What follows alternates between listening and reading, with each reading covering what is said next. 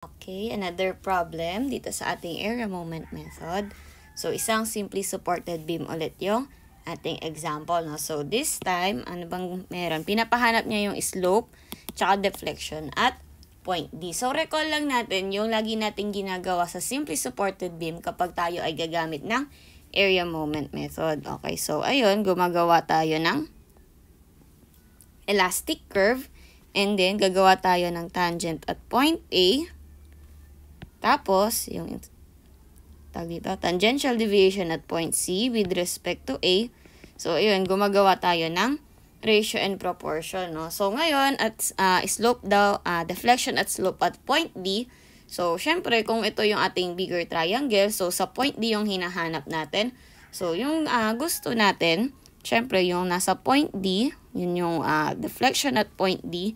And then, syempre, yung tangential deviation na gagamitin natin is tangential deviation at point D with respect to A. So, kaya na natin ulit makuha yung deflection at point D gamit yung ratio and proportion ng bigger triangle to smaller triangle. Okay, so however, paano naman kapag slope at point D na yung kukunin natin, no? So, ganun pa rin, okay? So, meron pa rin tayong triangle. Tapos, kung uh, slope at point D naman yung gusto nating uh, kunin, so, gagawa lang ulit tayo ng uh, syempre at point D, gagawa ulit tayo ng isa pang tangent line. No? So, ito naman si tangent D. Okay? Tangent at point D. So, kung meron tayong tangent A dito, tas ito yung tangent D natin. So, meron na tayong, uh, dito, may slope na tayo na, okay, at point D, papunta kay A. So, slope at point D, papunta kay A. Kasi tayo ay nasa point D. Ito yung D natin, papunta kay A. Okay? So, ngayon, ah, paano natin makukuha na slope at point D lang? So, paano natin makukuha na si slope lang at point D, no? Wala yung slash A. So, kapag ganyan ang gagawin natin, ah, kailangan gumawa tayo ng uh, slope or theta na with respect to horizontal. So, paano kaya yung theta na with respect to horizontal? Okay, so, uh, Siyempre, since ito na yung ating triangle, so di ba dito laging si theta A? So, ayan. Hindi ito na yung gamitin natin na slope with respect to the horizontal natin, no? So, bakit ito? Kasi uh, kapag ka nag-tangent na uh, theta A tayo, so meron na tayo agad na alam na rin natin si opposite, tas alam na rin natin si adjacent. Wherein si tangent theta A din, kung ito ay horizontal, ito si tangent A. So, kung ito rin, okay, si, ah, kung ito rin ay horizontal at ito rin, okay, parang hindi na mukhang horizontal yan na. Okay. So, kung ito rin ay horizontal at ito rin si theta A, si tangent A, so, ibig sabihin, ito na yung ating theta A. Ito, okay. Tapos, itong maliit na to, So, yun na yung magiging, uh, yun na yung theta D natin kasi at point D, ito yun. At point D, yan. Ito, at point D. Ito na nga gawin na rin natin. Point D. Ito na yung with respect to horizontal natin. No? Okay? So, parang magulo. Ulit, ulit, ulit. So, yung ginawa natin, uh, recall lang ginawa natin sa deflection para makuha siya, ratio and proportion ng bigger triangle. So, kung sa point D yung gusto natin, yun yung ratio and proportion, point D ng smaller triangle natin. So, kung gusto naman natin na makuha, yun yung para sa deflection. So, kung gusto naman natin na makuha si slope, so, ang gagawin natin, na uh, gumawa tayo ng tangent line. Okay, papunta kay, okay, kay point, uh, tangent line at point D. Okay, so ito yung tangent D natin. Okay, then ano pa yung ginawa natin? Kailangan natin ng uh, slope wherein kailangan natin gumawa ng theta na kailangan nakarelate siya with the horizontal. And then, ito na si theta A yung gagamitin natin kasi alam naman natin na si tangent theta A ay opposite over adjacent. So, therefore, kung itong with respect to the horizontal natin ay si theta A, so therefore, itong with respect to the horizontal din natin itong with respect to the horizontal din natin papunta kay tangent A. So, ito rin ang pala si theta A. So, therefore, kung itong malaking ito ay theta A, Tapos ito yung tangent uh, D natin with respect to A, itong maliit na to. So, therefore, ito palang mala, uh, si theta D pala plus si tangent theta D with respect to A, siya ay yung ating theta A. Or in other words, pwede na naman natin sabihin na sa, para makuha natin si tangent D lamang, uh, siya yung tangent A natin, opposite over adjacent, minus itong slope at point D with respect to tangent A natin. Okay? So, yun po yung uh, paraan para makuha natin yung slope at point D. Okay? Or at any other point na pinapahanap sa atin. Okay, so para mas maintindihan natin, uh, try natin na gawin sa example. So, syempre, lagi naman natin ginagawa, isosolve natin yung reactions. Okay? So, reactions. Yan. So, summation Paano ba yung sumila? Nalito ako. Mali. okay. So, summation moment at point A is equal to 0. So, 100 times 3 minus 5 RC. Okay, 2 plus, uh, 3 plus 2 po yun. 3 plus 2 is equal to 5. Okay, so therefore yung R, therefore yung RC natin is uh, 300 divide by 5. Okay, tama ba? 300, tama. 300 divide by 5. Okay, so, siya ay 50. Parang, hindi, mali yan, mali yan. 100 times 3. Ah, mali pala yung pinindot ko, kaya pala. Naging 300 divide by 6 na pindot ko. Okay, 300 divide by 5 is equal to 60 okay, kilo newtons. Nice. So, ayan. So, syempre, susunod, upward positive summation forces vertical is equal to 0. So, ayun. Hmm, RA plus RC, 60 natin is equal to 100. So, RA is equal to 40 kilonewtons. So, ayan. 40 kilonewton. So, dapat si RA plus RC, si RA plus RC natin is equal to 100. So, ayan. Kaya naging 40 kilonewtons. Project natin, project natin. So, ngayon na-solve na natin yung reactions. Susunod natin na gagawin ay gumawa ng area moment diagram. So, saan kaya magandang mag-moment. So, para sa akin, ah, lagi ko ang pinipili, ah, mag-moment doon sa may bandang gitna, no? So, kapag ka dinala ko yung reactions dito, dinala ko yung reactions dito. So, mas madaling makita yung ating, ah, madaling makita yung ating shape at saka yung distance sa kung saan natin kailangan. Okay? So, ayun. Ah, dito tayo sa uh, point B, mag-reference point. So, C40, dali natin kay point B. So, moment is equal to force times distance. So, 40 times 3. 40 times 3. Siya po ay 120. So, 60 times 2. Siya po ay 120 pa rin. Okay, di ba? So, yan na yung ating area moment. So, pagkatapos nating uh, ma-drawing ng tama yung ating area moment diagram, so, therefore, yung susunod nating gagawin is i-drawing ng tama yung ating elastic curve. So, kung tayo ay may hinge support, meron tayong roller support dito sa kabilang side. So, therefore, i-drawing natin ng ganyan yung ating elastic curve. Okay, so ang pinapahanap na sa atin, yung deflection daw, and slope at point D, which is 1.5 meters away from the support. So, ito daw, point D ay 1.5 meters away from the support. So, i-project natin, project natin. So, yun lang. Yun lang yung kailangan niya, no? C, deflection at D, tsaka syempre si slope at D. So, unahin muna natin si slope at point D. Okay, so paano ba makukuha si slope at point D? So, yun lang. Gagawa tayo ng tangent A. Oop, paano nangyari? Okay, ayan. Gagawa lang tayo ng tangent A. Tapos, ganun ulit. Standard. Ah, standard na naman. Ay, ako, paulit-ulit. Tangential deviation. So, nasan ba tayo? A, D, B, C. So, tangential deviation at point C with respect to tangent A.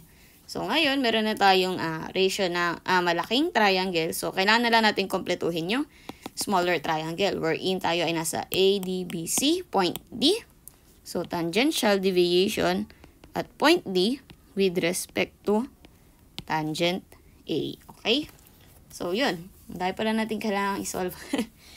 so, ayan. Uh, paano ba ma-solve? So, una muna Siyempre, si tangential deviation at point C with respect to tangent A. So, paano ba natin gagawin yon? So, kailangan uh, tangential deviation at point C with respect to A. So, let's say yung area 1 natin, itong part na to. So, area 1, area lang ng triangle, which is 1 half base times height. So, yung base natin, 3 meters times height natin, 120. So, area 1 is equal to, uh, cancel, cancel, ito ay 60. 180 na lang siya. 60 times 3, 180. So, yung area 2 natin, let's say this triangle. So, area ng triangle is equal to 1 half base times height. Height niya ay 120. Cancel, cancel. Area 2 natin ay 120. So, x bar natin, tayo ay nasa ADBC, tangential division at point C. So, kailangan natin dito, simula dito yung ating uh, moment arm or yung centroid. Okay, so point C, so 2 plus, ito ay 1 third from the vertical. So, therefore, 1 third, ano, ano muna, 2 plus 1 third ng length. So, ano ba yung L nito? So, ayun, 3 meters. So, cancel, cancel. Magiging 1 siya, 2 plus 1 is equal to 3. So, x bar 2 natin, kung ito yung area 1, ito yung area 2, therefore, ang ating uh, x bar 2 natin ay ito lang. So, kung ito ay 1 third from the vertical, so therefore, itong mahabang ito ay 2 thirds. Ayan. Simula kay point C. So, area 2 natin ay 2 thirds ng L. So, ano ba yung L nitong triangle na to? 2. So, 2 thirds of 2, x2 is equal to 4 thirds. So, ayun na. Nakasulat na pala. Tangential deviation at point C. So, summation of area times x bar natin. So, lagay natin. Tangential deviation at point C is equal to 180 times 3 plus 120 times 4 thirds over EI. Tangential deviation at point C with respect to A. Okay, so 180 yung area 1 natin. 180 store to A. Yung 3 natin, store to B. 120 store to C. 4 thirds. Okay, 4 thirds. Store to, ah, mali, mali. Store to D dapat. Okay, 3 store to B. Yan. So, A, A times B plus C times D is equal to 700 EI. Okay? So, yan. Meron tayo 700 EI. So, ibig sabihin ko ito ay 700 EI. So, pwede na tayo makagawa ng ratio and proportion. Okay, so ito na yun. Bigger triangle to smaller triangle. We're in tangential deviation at point A, at, at point C with respect to A over length is equal to this height over A over D. So, gawin na natin, no? So, sulat muna natin tangential, yung by ratio and proportion. Okay. EI. By ratio and so asan ba yung bigger triangle natin? Ito yung bigger triangle natin tapos ito yung smaller triangle. So sulat na natin. So ratio and proportion of bigger triangle. So ang numerator natin ay vertical, numerator natin ay vertical. Okay, so YD plus tangential deviation at point A uh, point D with respect to A. So, TCA, bigger triangle natin, ang length natin ay 3 plus 2 or 5 meters. So, sa smaller triangle naman natin, ang length natin ay Okay, so 3 ba yan? Hindi, no? Siya po ay, ngayon, 1.5 meters. Okay. Then, alam natin, si TCA, siya ay 700. So, 700 over 5 uh, times 1.5. Tapos, yun na yung value ng YD plus tangential deviation at point D with respect to A is equal to 1.5 times 7, 1.5 times 700 over 5. Okay. So, ito lang yan. Diba? 700 over 5 times 1.5. Yun yung value ng YD plus T tangential deviation at point D with respect to A is equal to 210 over EI. Okay. So, ayun. Para makuha natin yung deflection at point D, so, ibig sabihin, kailangan na lang natin masolve si tangential deviation at point D with respect to A. So, maikli lang naman siya, no? Kasi, asan ba yung point D ito? Asan ba yung point A ito? So, ito na yung point D, yung point A, ito lang yung area na kailangan natin. Okay? So, ayan, simulan na natin. Dito tayo kay tangential deviation at point D with respect to A. So, yung area natin, yung area ng maliit na maliit na triangle between D and A, D and A, so 1 half base times height. 1 half base, ano ba yung base niya? To. So, ayan ay 1.5 meters. So, bakit po 1.5 meters? Kasi siya ay 1.5 away. Yun yung hinahanap natin, 1.5 meters away from the hinge support. So, ano yung height natin? So, kung ito ay 120, ito ay 3 meters. Kung 3 meters natin ay buo, pag kinalahati natin ay 1.5. So, yung 120 natin, kapag kinalahati natin dito siya ay 60. Okay, so yun yung ibig sabihin ng ratio and proportion. Okay, so kung hindi kayo naniniwala, pwede nyo namang isolve gamit yung ratio and proportion. So, 120 over 3, 3, okay, 120 over 3 is equal to uh, unknown over 1.5. So, shift solve, siya po ay 60. Okay. So, yun. Ang ating area, okay. 230. So, 30 times, ano, 1.5. 1.5. Okay, tama. 45. Oop. See. Ang area 1 natin, is equal to 45. Yung x bar naman natin na 1. Okay, so nas tayo ay nasa tangential deviation at point D with respect to tangent A. So tayo ay nasa point D, dapat dito ang ating gagamitin. So 1 third ng L. So 1 third, ano ba yung L na ito? Yun ay 1.5. So 1 third ng 1.5 is equal to 1 half. Okay? O, kung gusto niyo calculator natin. Over 1.5 over 3, 0.5 or 1 half. So, ayan. Pag multiply lang natin, so therefore, yung tangential deviation at point D natin with respect to A is equal to 45 over 2 EI. Okay. So, ayan. Meron na tayong tangential deviation at point D with respect to A. So, kaya na natin ma-solve yung ating uh, deflection at point D which is, ayan, 45 over 2 EI So, lagyan natin EI. Yung ating YD raw is equal to 210 minus 45. 210 over 2. 210 minus 45 over 2. So, meron tayong 375 over 2 EI or kapag ka, uh, or kapag ka sinolve natin siya, so 375 siya ay nakakilo newtons, gagawing newtons. So times 1,000. So tayo ay naka-force times distance cube. So yung meters natin, i-cube natin, 1,000 millimeters cube. So yan na yun. Over, uh, syempre over 2 times EI natin. E natin is 200 GPa times 10 raised to 3 para maging MPa, Newton millimeter squared times yung i natin, 350 times 10 raised to 6 mm to the fourth. And dapat ang makasosolve natin na value ng deflection at point D is equal to 2.67